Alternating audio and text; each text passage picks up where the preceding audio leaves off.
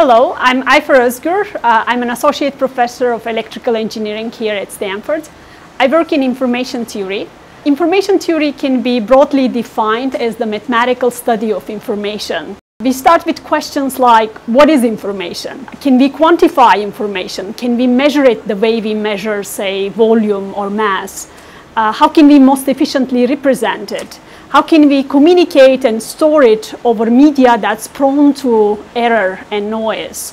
How can we make sound decisions when we only have partial or noisy information? So all these questions fall in the context of information theory, and it's an area that provides the foundation uh, for the design and engineering of modern information and communication systems. Think about images that are saved using the JPEG format. Uh, they take as little as 10% of the memory you need to store the raw image.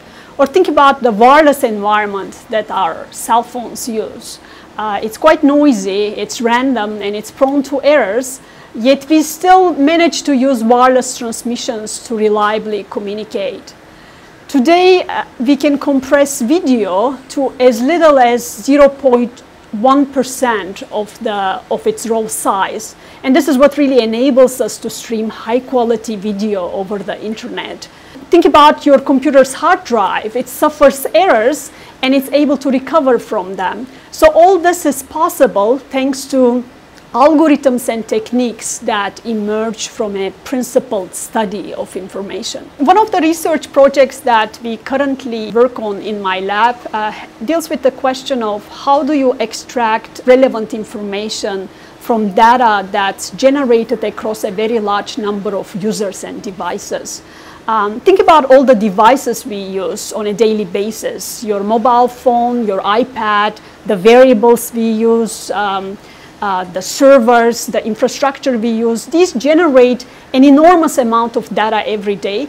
Um, and that data has the inferential power to improve many aspects of our lives. So we can use it um, to train more powerful machine learning models uh, that can lead to smarter devices and applications.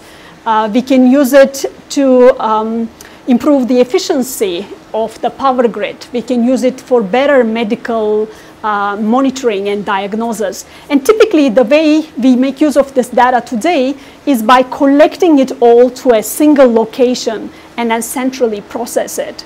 But this um, data collection has a number of disadvantages. So first of all, it has a very significant cost in terms of communication bandwidth.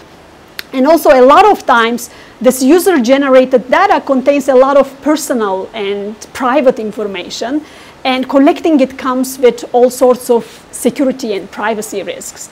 So what we are trying to do in our lab is to develop algorithms and methods that will allow us to learn relevant information from this data without collecting it to a single location, keeping data always at its source. If you like, the high level idea is to bring algorithms to data instead of bringing the data to algorithms that churn through it. When I was a high school student in Turkey, I somewhat coincidentally entered this one physics exam. At the end of that year, I ended up being selected as uh, one of the five students to represent uh, my, my country in the International uh, Physics Olympiads uh, for high school students. And I think I was the um, uh, second girl to make it to the, to the national team. That experience that year uh, was, was very transformative for me. And that was really my uh, first introduction to a university environment, uh, to academic life. And I think that changed my whole perspective on what I may want to do in my own life.